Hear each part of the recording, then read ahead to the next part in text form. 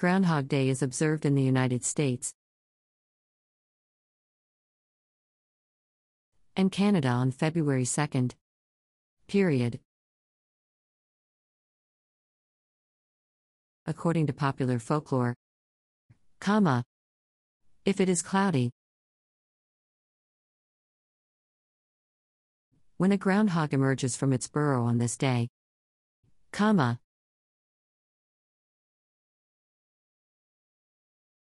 it will not see its shadow, comma, signifying that spring will arrive early. Period. If it is sunny, comma, the groundhog will supposedly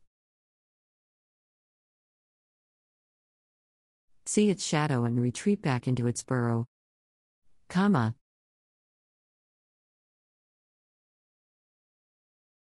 thus signifying that winter will continue for six more weeks. Period. Sadly, comma, studies have found no consistent correlation